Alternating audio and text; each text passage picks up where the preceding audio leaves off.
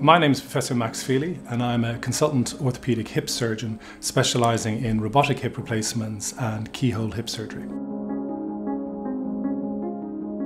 Mako is all about precision. It's about working out what exactly type of implant a patient needs and making sure that it's put in in the most perfect way that we possibly can. So historically, a hip replacement's been a really successful procedure, but there's always been risk of complications, and the most obvious ones are changes in leg length, or not getting that soft tissue balance quite right, or the risk of dislocation because the implants have been put in incorrectly. So by using the CT and then the robotic element, you can make sure that you've got the exact fit correct, you can make sure that the cup and the stem is put in perfectly, so that the soft tissues are really balanced, so they get really good muscle function afterwards. The aim of this is to increase the lifespan of the implant and also improve the recovery of the patient. That should give the patient the confidence to speed up their recovery, to get off their crutches quickly, to get back to exercise, and have the confidence to know that really there's very little limitations in what they can do long term.